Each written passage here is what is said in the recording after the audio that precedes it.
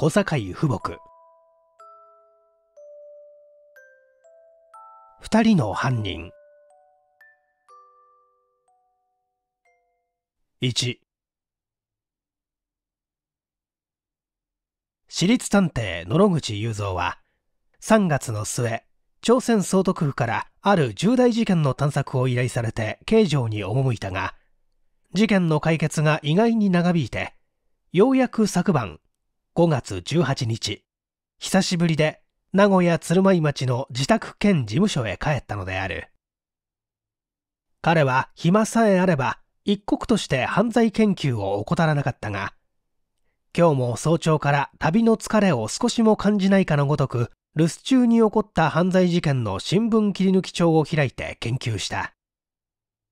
中んずく彼の最も興味を感じたのは昨今名古屋中の人々の話題となっている鳴海二婦人殺し。すなわち一つの犯罪に二人の相互に無関係の犯人が現れ当局が非常に迷っているという事件であってことに先刻この事件を取り扱っている名古屋地方裁判所の武藤余震判事から昼過ぎにぜひお頼みしたい要件があってお目にかかりたいという電話がかかったので多分この事件に関係したことだろうと思って彼は今一生懸命になって新聞切り抜きを研究し始めたのである。新聞記事に現れた鳴海二婦人殺しは大体次のような顛末である。4月4日の午前6時ごろ、鳴海在住の N 会社社長富田氏方の離れ座敷で、同家の女中川上歌、38歳口の聞けない女、と、留守に来ていた佃房江、37歳の美人、とが前夜何者かに殺され、死体となって発見された。現場は母屋から8軒ほど離れた別棟の建物で、6畳、4畳半、2畳、玄関からなり、南側の戸袋に近い雨戸が一尺ほど開いていた。女中の歌は6畳に仰向けになって横たわり、その首には紫色の絹の腰紐が巻きつけられ、その上に後からかけたらしい布団が乗っていた。部屋の中はかなり乱れていて、柳製のバスケットが隅に投げ出され、中の衣類や切れ字が辺りに飛び散っていた。次に、四畳半には、西枕で寝たらしい房江が東北を枕にして横たわり、裏返しにかけられていた布団を取り除いてみると、彼女はほとんど半裸体となって、鼻血を出して死んでいた。鳴海委員の M 医師の解剖の結果、房江は虐殺され、凌辱されたと分かったが、口の聞けない歌は応殺されただけで、凌辱された形跡は認められなかった。なお、取り調べの結果、房江の持っていた6円余り在中の2つ折りの財布が紛失していたが、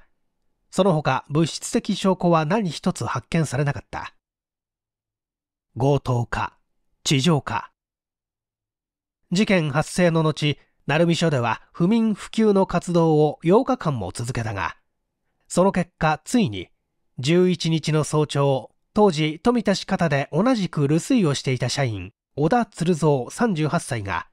自分の所為であることを白状した。すなわち彼は、房江の美貌に思いを寄せ、深夜離れ屋に忍び込んで、房江に上皇を迫ったが、房江が拒絶したので、無理やりに情欲を遂げて虐殺し、物音に驚いて逃げ出した歌をも考察し、強盗の所為に見せるためにバスケットをひっくり返し、房江の財布を奪って逃げたというのであった。よって彼は直ちに鳴海署から名古屋地方裁判所へ護送され、15日、いよいよ余震に伏せられることになった。ところが鶴蔵は余震でその自白を翻し、身に覚えのないことだと言い出した。単にそれだけのことならまだしも、20日に至って熱海署に捕らえられた北尾八太郎37歳という前科者が鳴海の二婦人殺しの犯人は自分で窃盗のために忍び入り房江の寝姿に烈状を起こして情欲を遂げ房江が抵抗したので虐殺し物音に驚いて起きた歌をも考察したのだと語ったので、この事件はにわかに世人の注意と好奇心とを呼び起こすに至ったのである。世人の興味が大きくなっただけ、当局の迷惑も大きくなった。前に述べたごとく、これという物的証拠が何一つないのであるから、主として心的証拠によって判断せねばならぬが、時として心証ほど当てにならぬものはないのであるから、担当の武藤余震判事もすっかり並行したらしかった。武藤氏はまだ独身で、これまでいろいろの事件を鮮やかに解決して、青年余震判事として名声三々たるものであったが、その人にこの難事件がぶつかったのは少々皮肉にも思われるが、一方から言えば武藤氏にとって良い試金石である。さて、鶴蔵と八太郎とをそれぞれ犯人であると認むべきいかなる心象があるかというに、まず鶴蔵について言うならば、第一に、被害者夫妻が強行の1日2日前に他の社員に向かって、小田さんはおかしな人ですねとつぶやいたことがある。第2に、強行の前夜、すなわち3日の夜11時後に鶴蔵は母屋を立ち入れた証拠があるが、その後いつ部屋に帰ったかわからない。第3に、4日午前6時半、母屋に泊まっていた M という16歳の社員が離れ座敷の異変を鶴蔵に告げたところ、彼は容易に医師を呼びにやらなかった。第4に、歌の死体の傍らに長さ三尺余の新張り棒があったが、それについて彼は、口の聞けない歌が隣座敷のありさまにびっくりして北側玄関に走り寄り、そこの戸の新張り棒を外して逃げ出そうとしたので、棒をもろとも彼女を六畳に引き戻して殺し、棒をそばへ置いたと説明したが、それは極めて合理的である。次に、八太郎について言うならば、第一に、彼は3月5日から13日まで、富田氏方の家主森氏の下男として住み込み、富田氏方の離れ座敷の南側で仕事をしていた関係上、座敷の模様をよく知っている。第2に、彼は3月14日、同僚の衣類と現金80円を盗んで森方を逃走して4月20日まで所在をくらましていたが、強行の発見された4日の午後、実子のもとに現れて、ちょっとした間違いを起こしたので、早速飛ぶから金を貸してくれ、と無心した。第3に、4月18日、名古屋から鳴海署と熱田署へ自分が真犯人だという手紙を出し、20日熱田署に捕まって、取った財布を鳴海の浜に捨てたといい、当夜六畳の間の机の上にあった書物の名をはっきり知っていた。第4に、新張り棒について。彼は南の戸袋に一番近い戸を強く押したら、戸袋と戸の間に隙ができたので手を差し込んで新張り棒を外し、それを持って部屋に入り、障子に立てかけておいたが、その後騒ぎのために倒れたのだと説明したが、これもやはり極めて合理的である。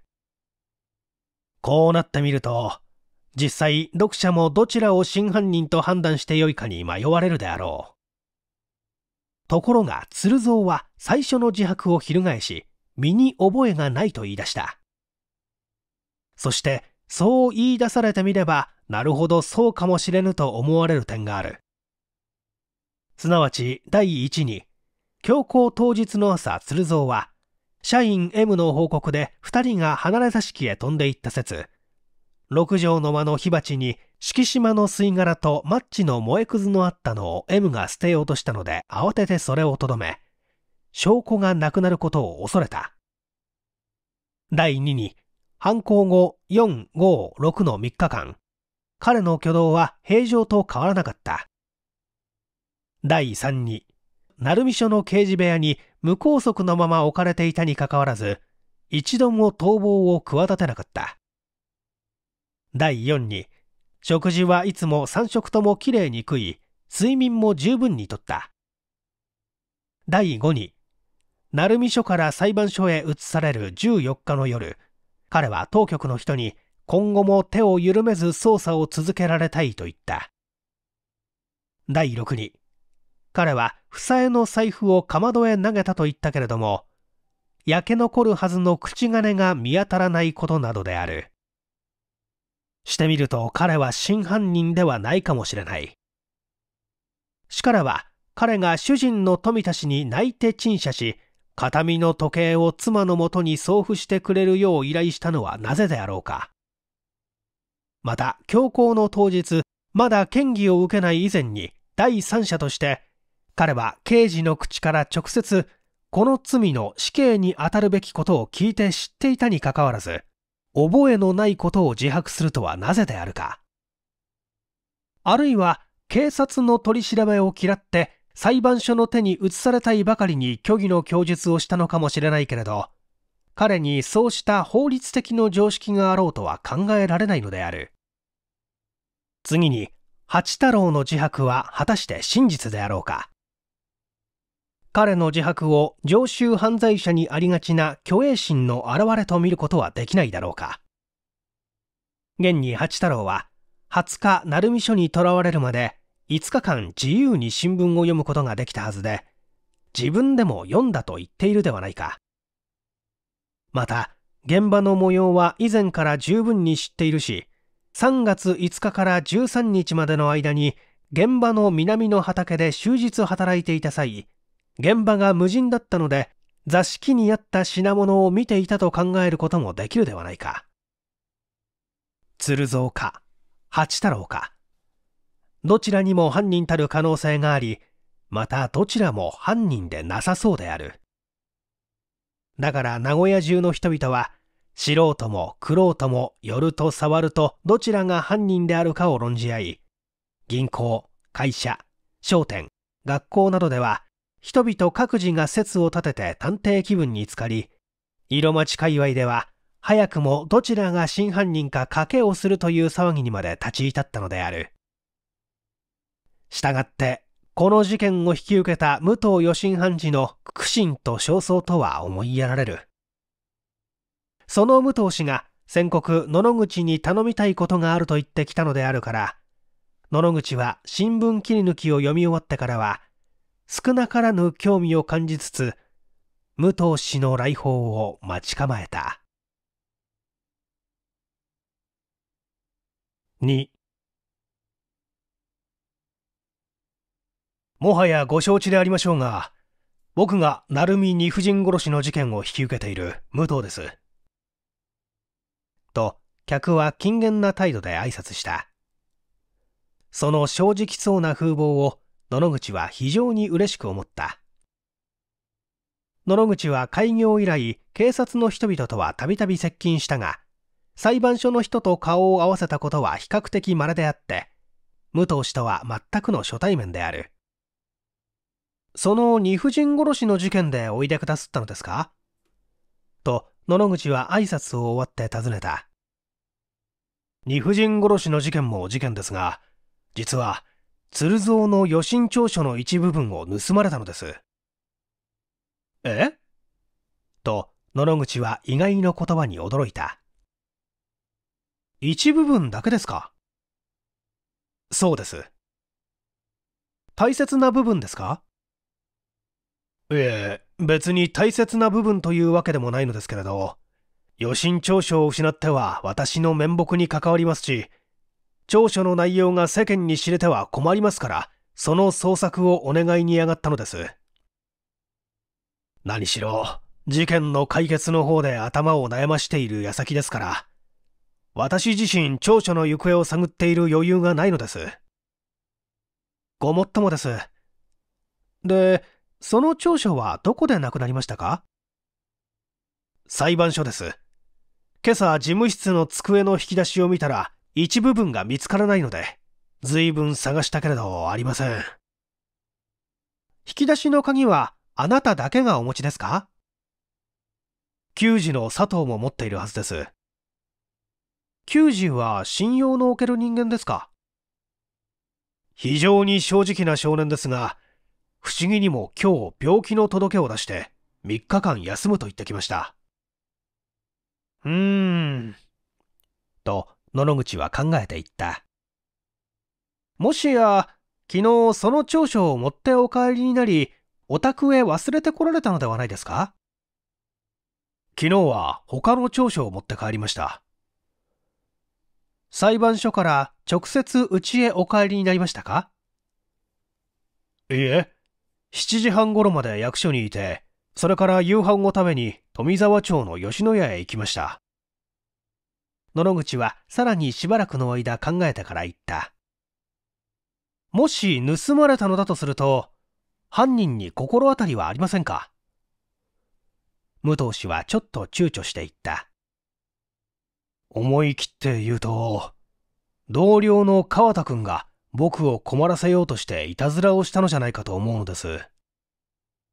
川田余震判事と武藤氏とが反目していることは野々口も薄々知っていた。お二人の仲は僕も聞かぬでもないですが何か原因でもあるのですか？武藤氏はいささか顔を赤くした。誠につまらぬことです。お恥ずかしいことですが一口に言うとある芸者に関したことが元です実はその芸者がぜひお話ししたいことがあるからと手紙をよこしたので、昨晩吉野家へ行ったのですが、何でも川田くんが、僕が今度の事件に失敗すると免職になるというようなことを言いふらしたそうで、それを心配したわけなんです。何という芸者ですか？加納屋の吉かと言うんです。川田さんと球児の佐藤とは特別に親しいようなことはありませんか？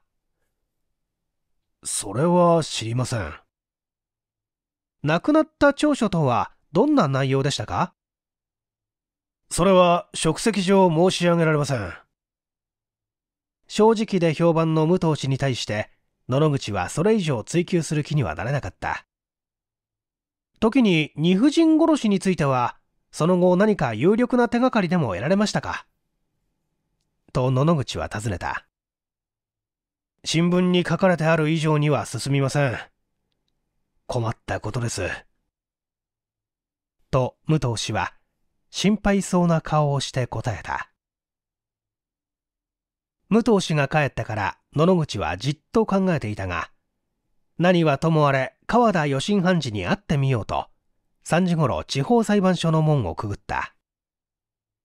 川田氏は武藤氏と同じくらいの年配であったが、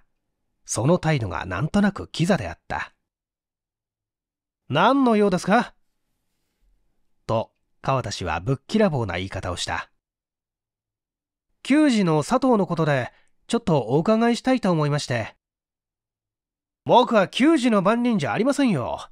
武藤君におっきなさい。武藤さんは今回の事件でご多忙のようですから、さすが聡明な武藤君もちとへこたれましたかな。と、その言葉にはトゲがあった。こういう事件は誰にだって難しいでしょう。名探偵のあなたにでもですか？野々口は自尊心を傷つけられたように感じて内心ムッとした。これは恐れ入ります。しかし、同じ裁判所においでになったら、あなたもお手伝いして差し上げなさったらどうです？武藤君は一人で解決するが良いです。そして大いに手柄を挙げるが良いです。すると、終始傍観というのですね。傍観じゃないです。武藤君は僕なんかを相手にしてくれないのです。それならば、少なくとも邪魔をしないようにしてあげてください。僕がいつ邪魔をしたですか？と川田氏は顔色を変えた。野々口は黙ってその顔を眺めた。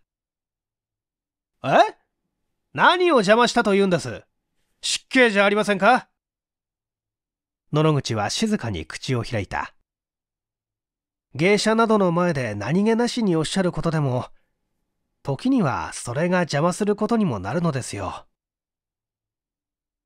やがてほどなく野々口は裁判所を出てどこというあてもなく歩いた。出かけ際に彼は武藤氏の事務室を訪ねて検査したが別にこれという手がかりはなかった。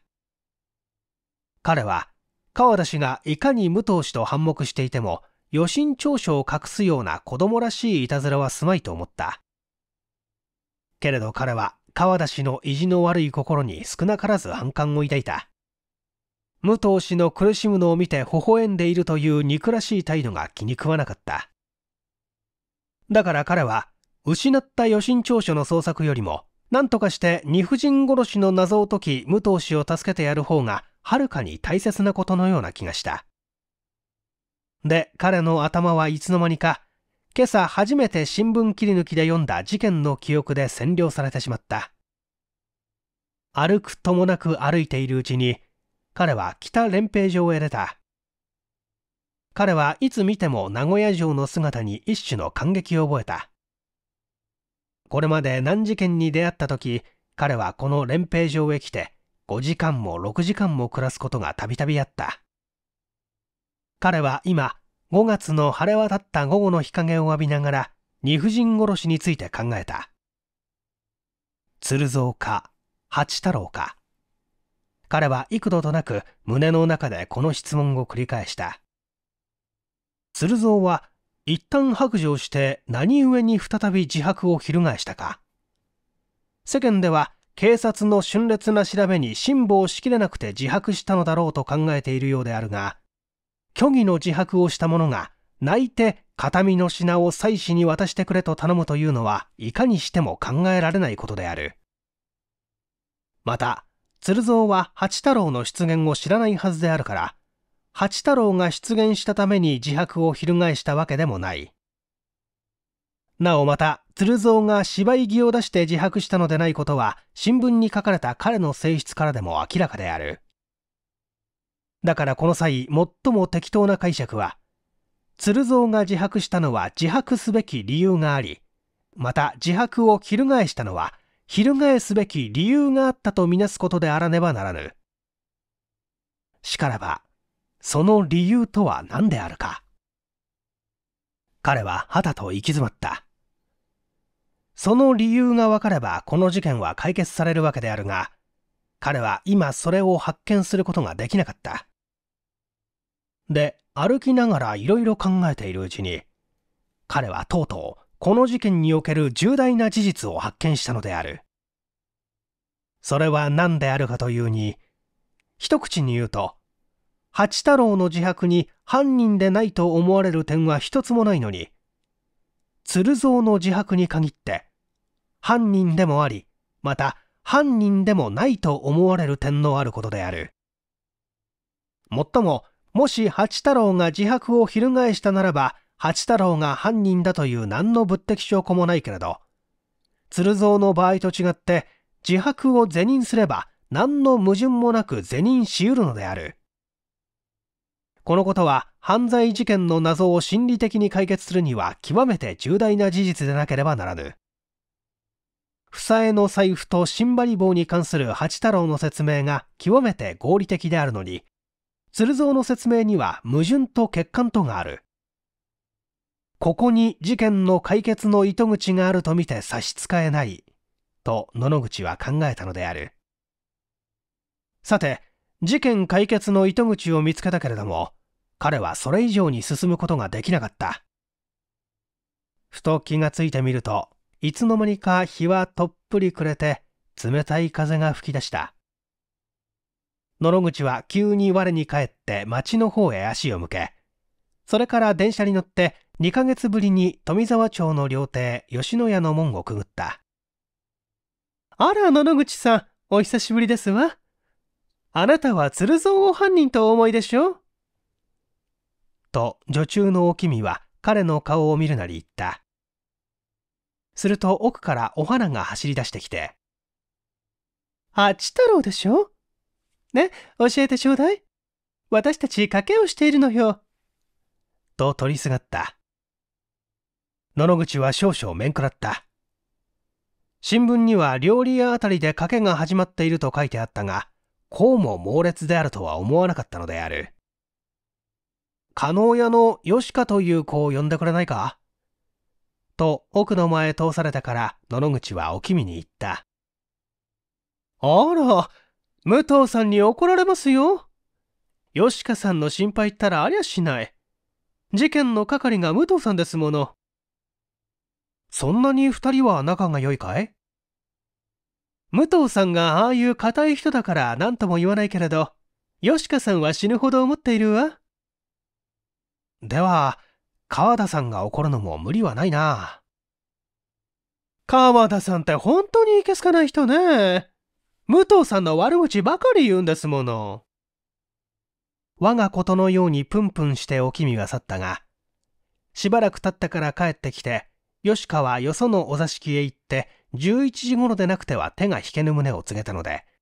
彼は吉川と購買の津屋菊という子を呼ばせた。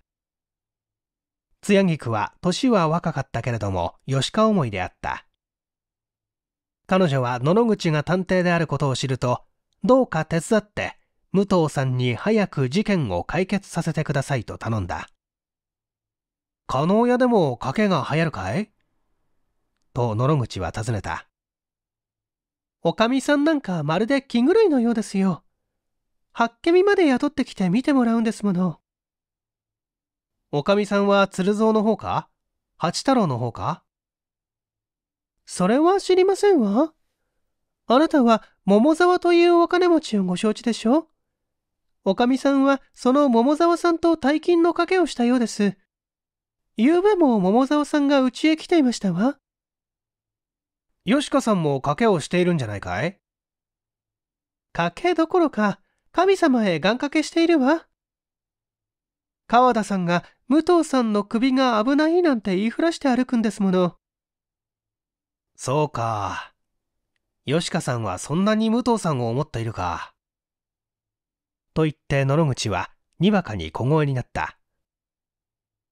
実はね、武藤さんにちょっと困ったことができたんだ。大切なものをなくしたんだが、それが出ないとそれこそ本当に武藤さんの首が危ないかもしれん。で、僕は吉川さんに手伝ってもらいたいことがあるんだ。今度帰ったら吉川さんにこのことを話して。いいか？内緒でだよ。明日にでも僕のところへ訪ねてくるように、そう言ってくれないか？こう言って野々口は、一枚の名刺を津屋菊に渡した。野々口は10時頃に帰宅したが、やはり長所紛失事件よりも二婦人殺しの方が気になったため、今日北連兵場で考えた続きに取り掛かり、今夜中に満足な説明をつけねば徹夜してもやむまいと決心した。彼は酒のために赤みを帯んだ顔を光らせ、書斎の机に向かってじっと考え込んだ。彼はポケットから一冊の書物を取り出し、あるページを開いた。それは彼が身辺から話したことのない清水章であって、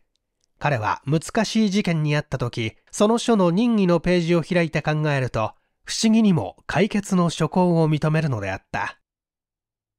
彼は北連兵場でこの事件の解決の糸口を見つけた。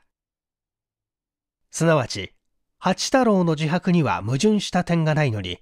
鶴蔵の自白には矛盾のあることを解決の第一段階とすべきであると思いついた。そこで彼は、進んで第二段階としていかなることを持ってくるべきかについて考え始めたのである。だんだん考えていくうちに、彼は自分もまた世間の人と同じように犯人を鶴蔵か八太郎かのいずれかに定めたく思っていることに気づいた。もっとも鶴蔵と八太郎の共犯でないことは言うまでもないから、誰しも二人のうち一人を真犯人と定めたがるのは無理はないけれど、それはやはり誤った考えではあるまいか。すなわち、鶴蔵の自白も八太郎の自白も是認して、しかも適当な解決を見出すのが、この際取るべき唯一の思考手段ではあるまいかと思いついたのである。で、彼はさらに色々考えた結果、ついに被害者の側からこの問題にぶつからねばならぬことを発見したのである。この第二段階の発見をしたとき、玄関口のベルが激しくなった。諸生たちはいつも10時に寝させることになっているので、彼自身が戸を開けに行くと、門口に人力車を待たせて、一人の偽装した女が立っていた。加納屋の吉川でございます。と彼女は心配そうな青い顔をして言った。野々口は彼女を書斎に導いて椅子に腰掛け締めようとすると、彼女は立ったまま、武藤さんの書類を取ったのは私です。と声を震わせて言った。野々口は事の意外に驚いたが、急に冷静になって、なぜ盗んだのかね？と尋ねた。武藤さんのためを思ってです。え？まあ、よく聞いてください。と彼女は初めて椅子に腰を下ろして語り出した。それによると、川田義信判事が武藤氏の首が危ないかもしれぬと言いふらしたのを聞いて、彼女が神様に願掛けしてまで気を腐らせていると、お上は非常に同情して、駅舎を雇って果たして武藤義信判事が今回の事件を解決するかどうか占ってもらうことにしてくれた。すると駅舎の言うのには、事件は非常に難しいから、このまま放っておいては到底武藤氏には解決できないけれど、あるおまじないをすれば、武藤氏は必ず成功すると言った。そのまじないとは、武藤氏の手から彼女が今回の事件の予診調書の一部分を盗んで、3日過ぎに郵便で誰が盗んだか知れぬように返せばよいというのであった。彼女がとてもそんなことはできないと思って当惑していると、お上は私が手伝ってあげるからおやりなさいとしきりに勧めたので、恋人を成功させたさの一年で、お上の命ずるままに武藤氏に手紙を送って夕べ吉野家で会い、武藤氏が便所へ立った留守に、お上に与えられた書類と武藤氏の風呂敷包みの中の書類とをすり替えたのである。野々口はこれを聞いて不審に思った。なんとなれば、武藤氏は裁判所に置いてあった書類がなくなったのだと言い、武藤氏が昨夜持って帰った書類は他の事件の書類で、しかも別にすり替わってはいなかったはずだからである。してみると武藤氏は間違えて持ってきたのであろうか。それとも、吉川が嘘を言っているのであろうか。彼女は野々口の顔を見てますます心配そうな顔をしていった。何でもないことだと思っていたら、今夜津屋菊さんへのおことづけを聞いて本当にびっくりしました。書類はおかみさんの手元にあるのですから、どうぞ私のやったことだとは言わずに、武藤さんにあなたの手から渡してちょうだい。私が取ったことが分かってはおまじないにならずに、武藤さんが失敗なさるといけませんから。彼女は駅舎の言葉を一時に信じきっているのである。こうした無邪気な女が嘘を言うはずはないから、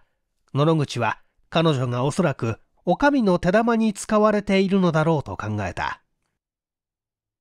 万事は明朝、加納屋のお上に会えばわかることである。だから彼は吉川をできるだけ慰めて返すことにした。彼女の帰りがけに野々口は尋ねた。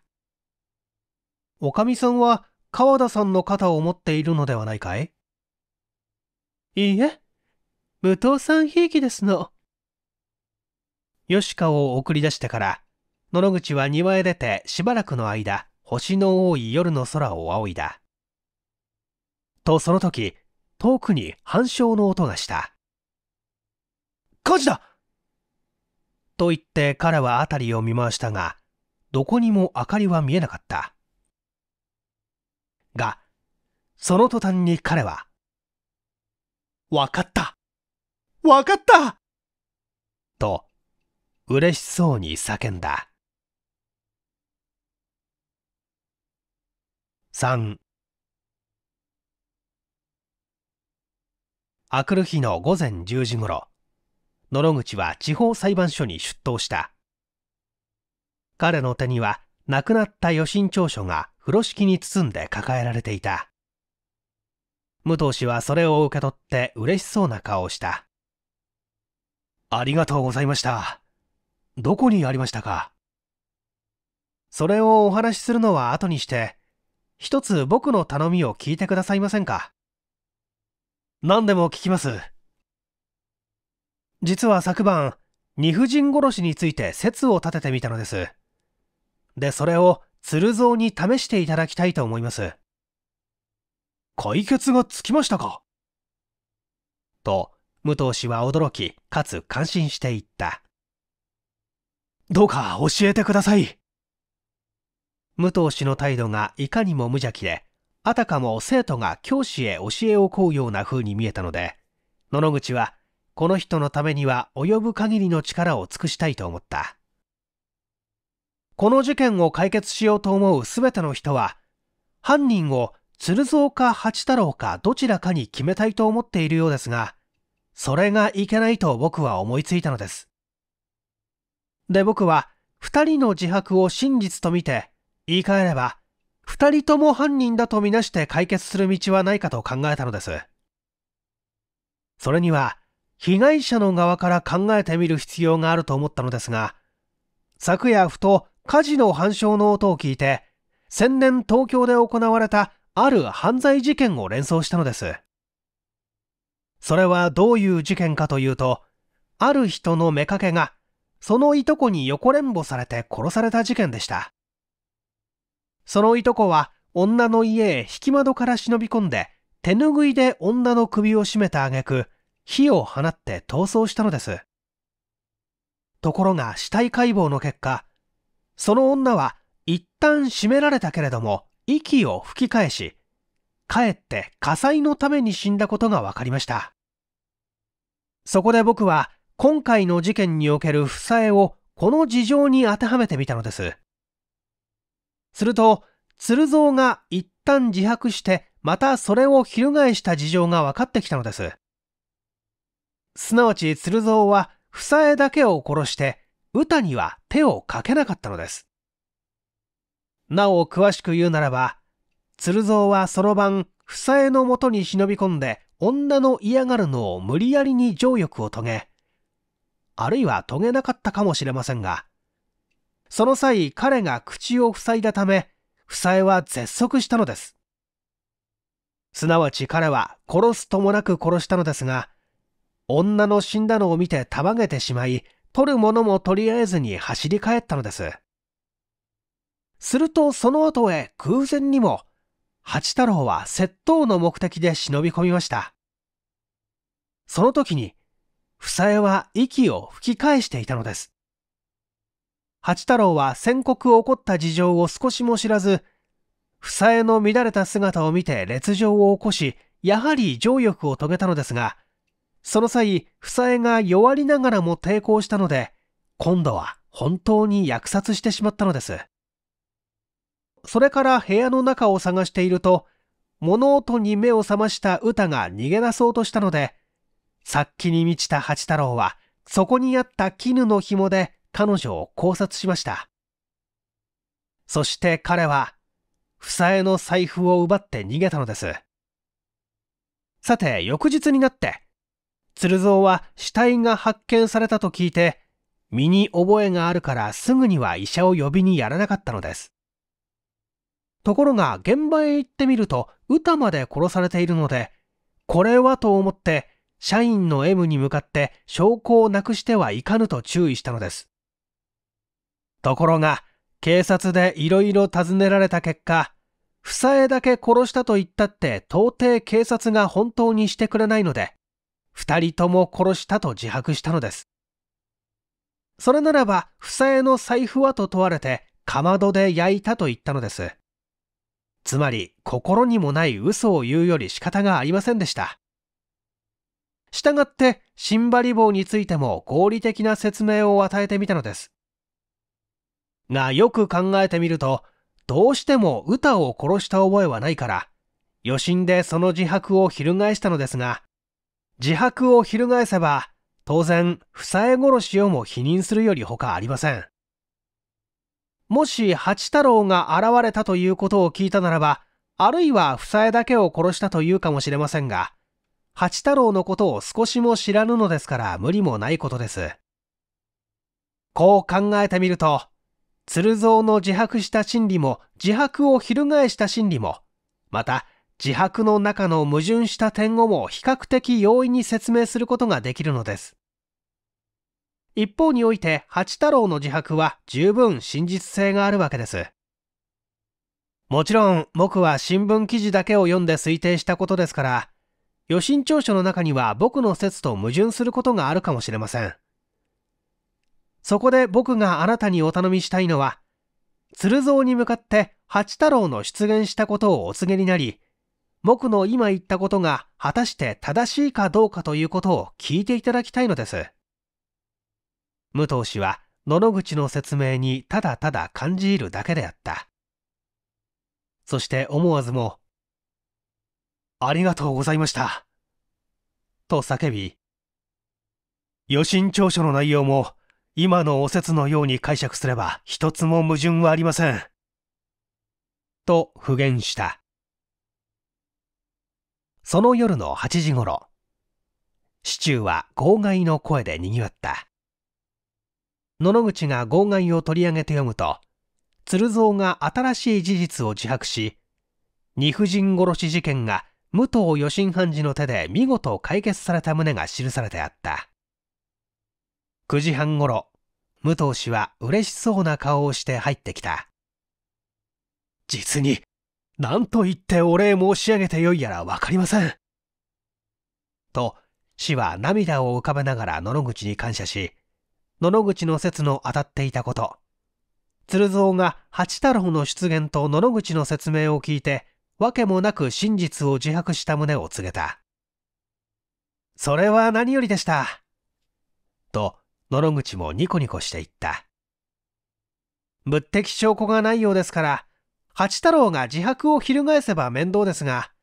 とにかく事件は一段落ついたようですね。これで武藤余震判事の名声はいよいよ高くなります。今頃はどこかで神様にお礼を申し上げている人がありましょう。え？と、武藤氏は不審そうな顔をした。よしかですよ。